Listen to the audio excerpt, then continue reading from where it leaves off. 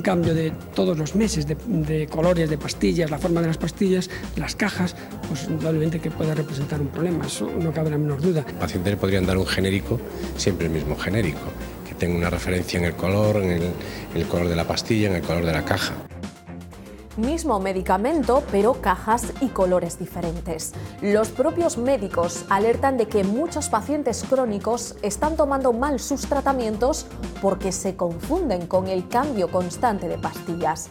Los precios de los genéricos van cambiando y cada mes el catálogo se actualiza para recetar siempre el más barato.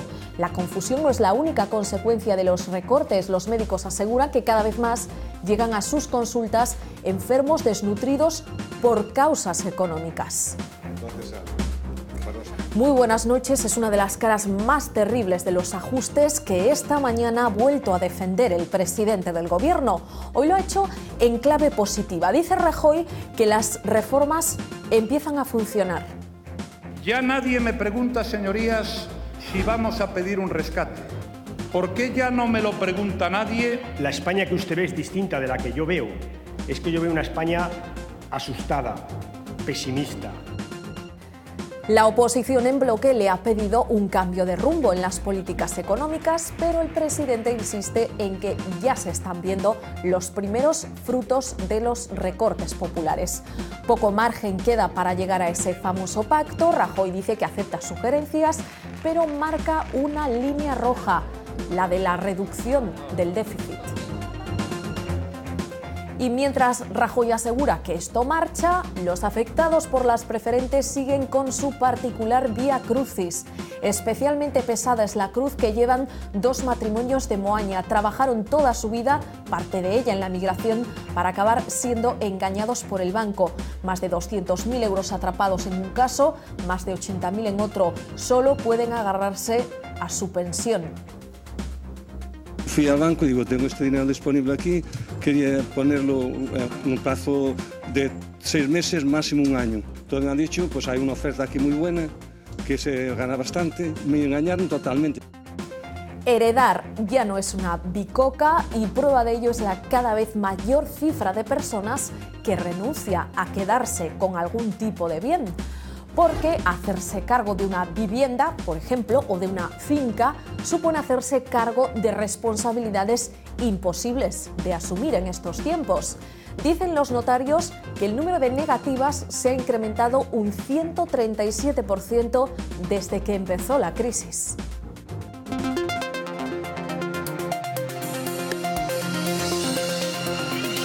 Hace un año vivíamos en constante riesgo de ser intervenidos, señorías. Desde entonces, algo ha cambiado en España. En suma, señorías, esto empieza a funcionar. Vamos a empezar nuestro repaso informativo del día por esa intervención de Mariano Rajoy después de pedir paciencia durante varios días seguidos. Hoy el presidente del Gobierno se ha mostrado más optimista. El presidente asegura que las políticas de su Gobierno empiezan a funcionar y que, por lo tanto, se niega a negociar los cambios de rumbo que le pide la oposición. La oferta para llegar a algún tipo de pacto parece que se mantiene tan solo en materia de pensiones, corrupción o reforma de la administración local. Callaba el presidente a su llegada y sonreía, pero nada hacía presagiar lo que iba a ocurrir. El cambio, el cambio en el relato del gobierno, del pesimismo al optimismo. Escuchen. Estamos ante un auténtico vuelco en la economía española. Y primer ejemplo. Ya nadie me pregunta, señorías, si vamos a pedir un rescate. ¿Por qué ya no me lo pregunta nadie? La España que usted ve es distinta de la que yo veo. Es que yo veo una España asustada, pesimista. Pero para Rajoy el cambio ha comenzado. Nos queda todavía mucha tarea que atender, pero llegará la cosecha. Y por eso va a mantener, dice, sus políticas y lo hará sin mirar la propuesta de Rubalcaba. Utilizar parte del crédito, línea de crédito lo llamó usted. Es una nueva condicionalidad macroeconómica. No lo puedo apoyar. Y lo hará sin acuerdo general. Yo no puedo hacer una política económica como la que nos ha traído hasta aquí. Ni la de Zapatero ni la de Rajoy. Yo le propongo la política de Rubalcaba. Tengo un mandato que cumplir, darle la vuelta a la situación y me he propuesto cumplirlo. Los acuerdos puntuales en reformas concretas sí mantienen su puerta abierta.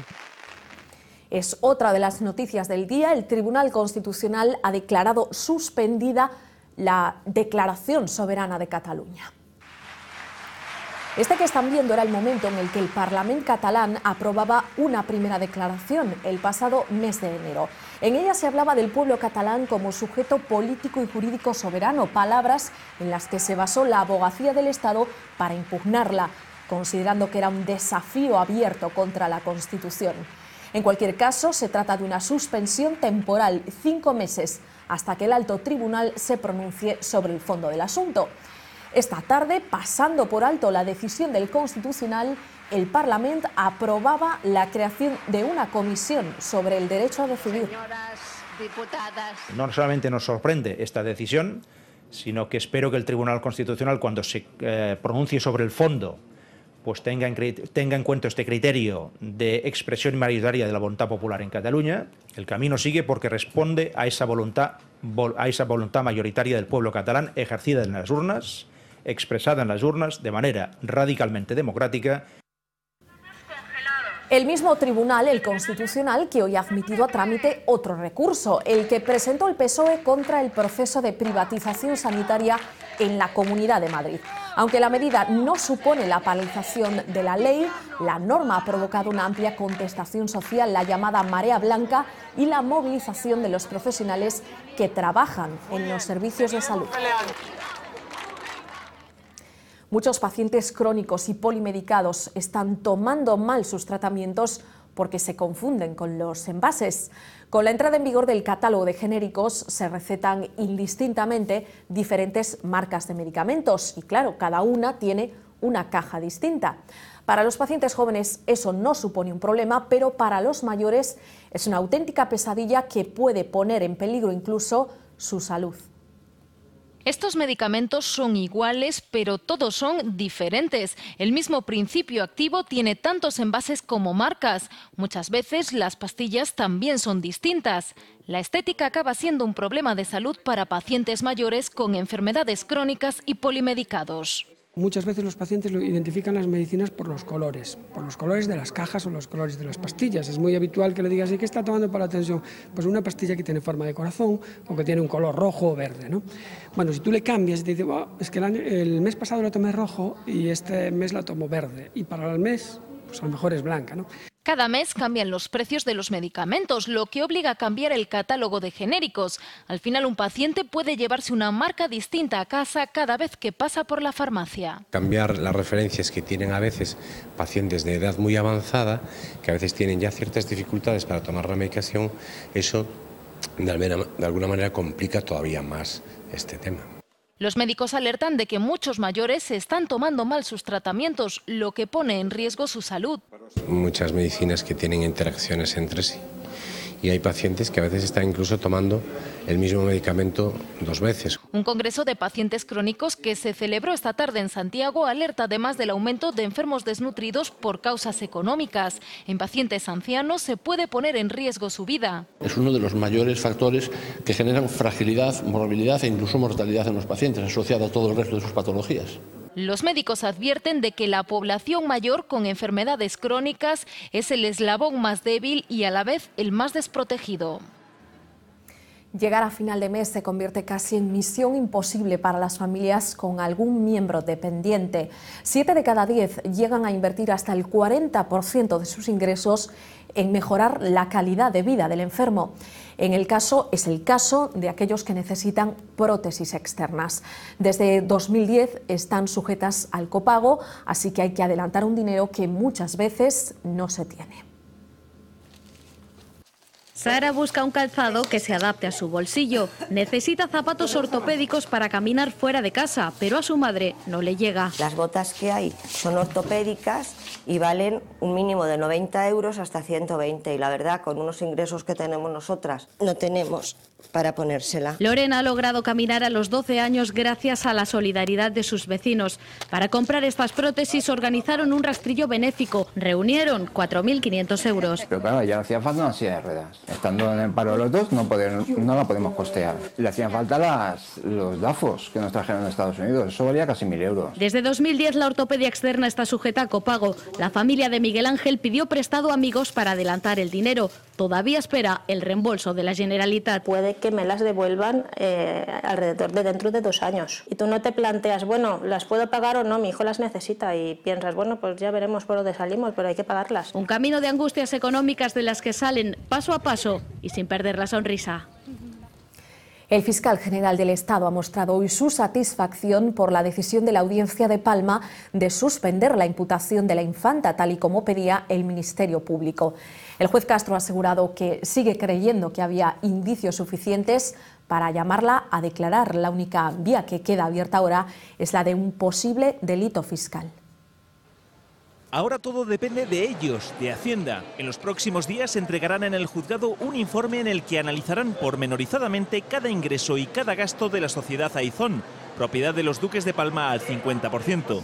Hasta el momento se han puesto de manifiesto numerosas irregularidades en esa sociedad. Contrataron empleados fantasma para justificar ingresos de cientos de miles de euros procedentes del Instituto NOS. Hacienda pondrá de manifiesto esos supuestos abusos y ahora, al aplicar la doctrina del levantamiento de velo, las responsabilidades penales que se deriven de la actuación de Aizón se extenderán a sus dos propietarios, a los duques de Palma. Hasta el momento, la infanta se ha librado de la imputación por tráfico de influencias. Expresar la satisfacción porque la sala de la audiencia de Palma haya acogido el recurso del Ministerio Fiscal. Ahora, la nueva amenaza para Cristina de Borbón, tal y como sugería la propia audiencia de Palma, es la imputación por defraudar a Hacienda al no declarar su parte correspondiente por los ingresos obtenidos en Aizón. Pero todo apunta a que esa responsabilidad se adjudicará en exclusiva al administrador de la sociedad, es decir, a Iñaki Urdangarín. La comparación con el caso de la infanta parece inevitable. El juez del Supremo, que lleva el caso campeón, defiende que la mujer de José Blanco sí sea investigada, concretamente sus cuentas. Frente al argumento del abogado del exministro, que lo considera una intromisión en la privacidad de una persona que no está imputada, el magistrado recuerda que el político e Isabel Mourenza, su mujer, están casados en régimen de gananciales. Por eso justifica indagar los depósitos del matrimonio entre los años 2006 y 2011 para determinar si hubo algún movimiento irregular. La cúpula de la trama Gürtel ha vuelto hoy al juzgado. Francisco Correa, Pablo Crespo, Álvaro Pérez El Bigotes y Cándido Herrero estaban llamados a declarar esta mañana como imputados en la causa que investiga la presunta financiación ilegal del PP de Valencia. Los cuatro han decidido no declarar y a su salida han pedido que se respete la presunción de inocencia. La rama valenciana de la Gürtel vuelve a los tribunales, pero más implacable que el juez. ¿No tienes dinero? No puede ser. Esta incrédula cuestadora. Ni una monedita. Sorprendida de que alguien, a quien los investigadores le llegaron a encontrar 20 millones de euros en Suiza, No tengo monedas. ¿De verdad? En serio. ¿Te han dejado Pero mira, limpio? la que ¿Así de tenía. limpio te han dejado? Todas las que tenía. tenga que echar mano de su número 2, Pablo Crespo, Déjame una moneda. Para que done por él un euro contra el cáncer. Ha sido la cara amable, la del disgusto la muestran otros, El Bigotes, que por cierto ahora es el Barbas. que se quejan también de no ser iguales ante la ley. Para unos super señor y para otros directamente cabecilla, no. Pero a pesar de las quejas, él sí que no ha tenido que rebuscar en los bolsillos Me acaban de operar hace poquito y entonces... para encontrar algo de dinero. Hervé Falciani no será extraditado a Suiza. La Audiencia Nacional ha tomado esta decisión porque en España los delitos de los que se le acusan no están tipificados. Espionaje financiero y apropiación de datos relativos a clientes. El tribunal entiende que en la intimidad de estos últimos no puede amparar actividades ilegales. Los hechos se remontan a diciembre de 2008, cuando el informático se hizo con datos de más de 100.000 clientes del banco HSBC, con sede en Ginebra, tras ver actos que él mismo calificó de escandalosos. Además, Falciani colaboró con varios países, entre ellos España, para detectar a miles de evasores fiscales. Durante todo el día ante el Senado han protestado los miembros de la plataforma de afectados por la hipoteca.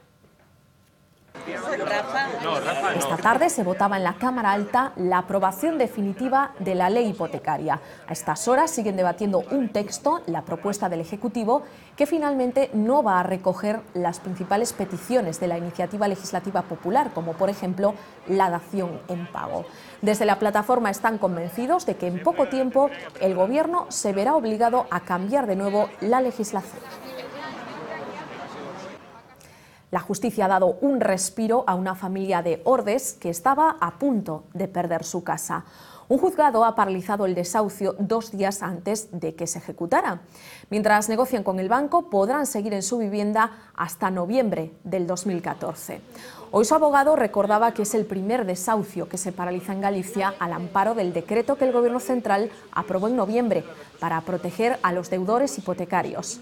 La familia logró acreditar que son vulnerables. Uno de sus miembros tiene una minusvalía que le impide trabajar y además los ingresos familiares no superan los 500 euros mensuales. La decisión sienta un precedente en nuestra comunidad. Pues significa un respiro de aire para poder negociar con sus bancos y para poder buscar una solución a un, a un problema pues grave en este caso, que es eh, que te echen de tu casa. Eh, tienen esperanza que por lo menos la justicia funciona, en este caso por lo menos, la lista de citados a declarar en el marco del caso Bankia se amplía. El día 24 de este mes tendrán que pasar por la Audiencia Nacional el presidente del Banco Santander, Emilio Botín, el de CaixaBank, Isidro Fainé, y el gallego Francisco González, del BBVA. Hablarán en calidad de testigos en la causa que investiga la fusión y posterior salida a bolsa de la entidad financiera, UPyD había solicitado estas comparecencias para esclarecer cuál fue el objetivo de las reuniones que mantuvieron con el ministro de Guindos y con Rato justo antes de la dimisión de este último.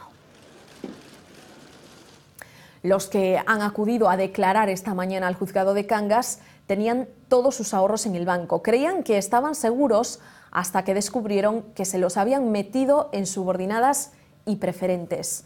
Se trata de dos matrimonios de edad avanzada de la localidad pontevedresa de Moaña, ambos unidos por un pasado común, el de la emigración y el de toda una vida trabajando. Ricardo y Carmen, 225.000 euros atrapados. Leoncio y Francisca, algo más de 82.000. Ninguno de ellos sabía que estaban depositando su dinero en un producto de alto riesgo. Ahora solo les queda la pensión. Nosotros vamos a solicitar que se declare la nulidad radical de los contratos y no sabían lo que contrataban. Nada, nada, nada, no estamos tranquilos. Porque decían que estaba tan seguro el dinero. Sí, trabajando toda la vida, prohibiéndose muchas cosas para luego que lo quieran quedarse ellos con él. Eso es injusto. Profesores universitarios, representantes del mundo de la justicia o cargos de la administración, pero no políticos. El PP aprobaba ayer en solitario un plan de trabajo para la Comisión contra la Corrupción del Parlamento gallego por la que no va a pasar ningún representante político. Serán 29 comparecencias y los tres grupos de la oposición coinciden en que son claramente insuficientes. Hoy los socialistas hablaban incluso de mecanismo urdido por el PP para que no se pueda elaborar un plan concreto que evite futuras conductas corruptas. Isto non é un seminario de estudios É unha comisión que ten que propoñer medidas sobre algo moi concreto que é a prevención da corrupción na vida política. E para empezar, non vai a comparecer ninguén que teña responsabilidades políticas. Temos unha, unha oposición eh, totalitarista eh, sin disposición a ceder, porque vimos como eh, non ceden e non son xenerosos nas súas eh, propostas. Ayer les hablábamos de esa cifra récord de españoles emigrados a Alemania en busca de trabajo. Hoy les contamos que dos de cada tres jóvenes buscan un empleo fuera de nuestro país y que la mitad de ellos están dispuestos a trabajar lejos de España. Los lugares donde más oportunidades se buscan dentro de Europa son la propia Alemania, Reino Unido e Irlanda. Una realidad que choca con esta otra. Solo el 26% ha buscado trabajo fuera de su comunidad autónoma. Y otro dato, tres de cada cuatro menores de 30 años estarían dispuestos a trabajar sin remuneración a cambio.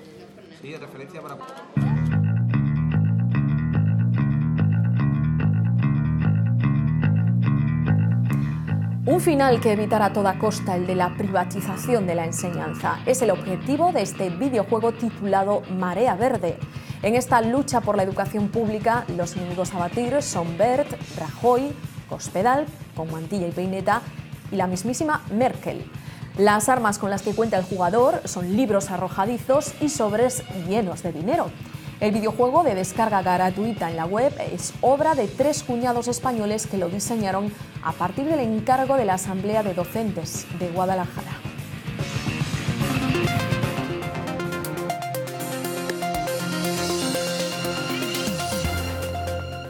El consejero de Economía e Industria se ha reunido hoy con el clúster del Naval en Santiago. Francisco Conde mostró su apoyo al sector para lograr carga de trabajo y mejorar la competitividad de los astilleros y la industria auxiliar. Los empresarios del Naval han agradecido las gestiones de la Junta con la petrolera Pemex. El clúster asegura que la entrada de la compañía mexicana en Barreras es una buena noticia y una opción deseable para otras empresas del sector. Nosotros estamos encantados siempre que venga con carga de trabajo y suponga pues potenciar nuestro o repotenciar nuestro sector. Por supuesto que estamos encantados, pero debe ser el propio Barreras quien manifieste los, los pormenores, pero los desconocemos.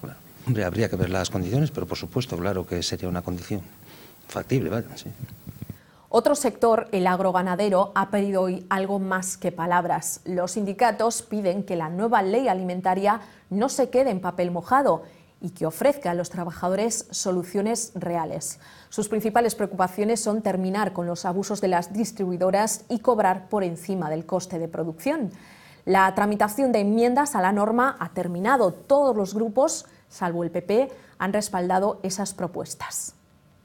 E unha vez máis, pues podemos estar ante unha situación de perder unha oportunidade. Tiene que ser una ley donde en esos contratos haya un precio mínimo que le garantice, en este caso, al agricultor y al ganadero, que cubre los costes de producción. Hasta el año 2007, rechazar una herencia era algo casi impensable, pero la crisis ha modificado esa tendencia hasta límites insospechados. Antes de estar obligados a pagar tasas de por vida o hacerse cargo de deudas y responsabilidades sobre fincas o inmuebles, cada vez son más los gallegos que prefieren decir que no. El temor a heredar más deudas que bienes lleva a los gallegos a tomar decisiones inauditas. Renunciar a una herencia es una de las causas, pero hay otras de peso para optar por esta alternativa. Hay poca liquidez de los herederos y de hecho lo que reciben son patrimonios ilíquidos, es decir, patrimonios inmuebles que pueden ser urbanos o pueden ser rústicos pero que en un momento determinado se encuentran con unos bienes por los que tienen que abonar una serie de impuestos. Entonces hay plusvalías, hay impuestos de sucesiones. Y es que muchos gallegos acuden a notarías como esta con un objetivo, quitarse de encima responsabilidades futuras. El número de renuncias se ha incrementado un 137% desde que comenzó la crisis. Es una madre que tenía varios hijos y uno de ellos pues ha fallecido en un accidente hace poco, tenía una empresa, la empresa le ha ido mal y como no tenía familia, ni, ni, ni esposa, ni hijos, eh, la heredera es la madre y la madre ha renunciado a la herencia para evitar los problemas derivados de aceptar una herencia del hijo cargada de deudas. Intentaría quedarme con él, eso está claro. Hacerme cargo de las deudas no. Una herencia que te cuesta, te cuesta dinero, que nada más que sean impuestos. Que no solo lo positivo, es lo que lleva consigo. Si las deudas son mayores que la herencia, hay que pensar. Un regalo envenenado, eso sí, para quienes renuncian. Es irrevocable y a todos los efectos. En último término, quien acaba heredando es la administración pública. Podría ser el argumento de una película del oeste, pero pasa hoy en día muy cerca y cada vez más al calor de la crisis.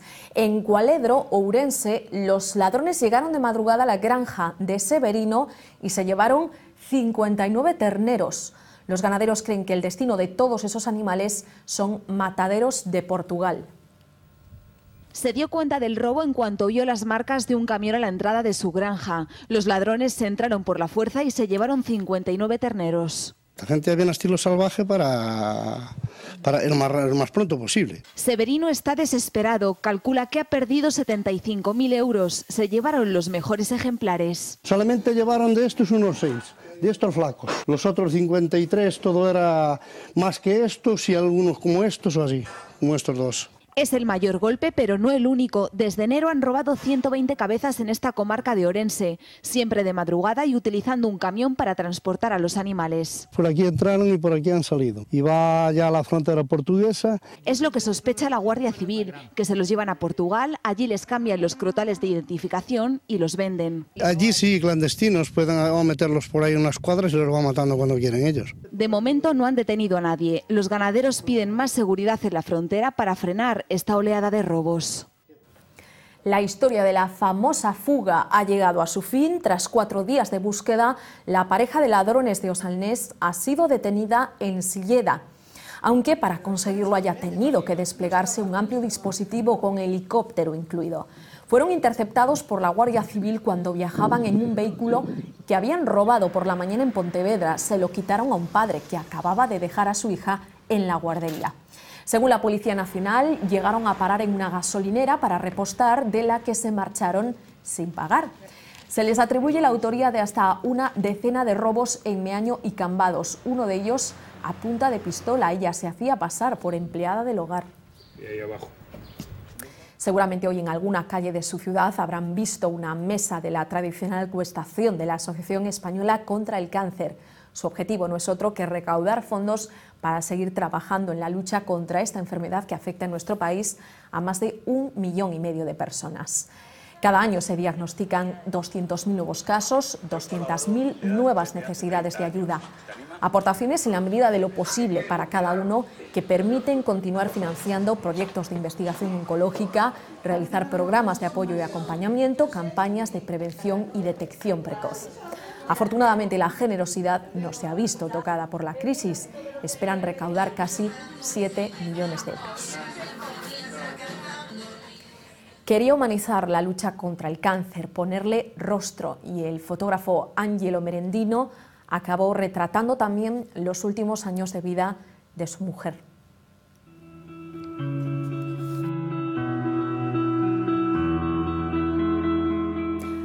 A Jennifer le detectaron cáncer de mama y tuvo que enfrentarse a una enfermedad de la que hasta aquel momento, en aquel momento poco se sabía. Pronto llegarían el miedo, la quimioterapia y la soledad, pero las fotos que le hizo su marido también buscaron reflejar su amor por ella.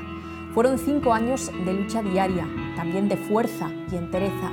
Iban a ser unas instantáneas privadas, pero antes de morir, Jennifer le pidió a su esposo que las compartiese con el resto del mundo para que la gente pudiese entender el dolor de los que sufren cáncer.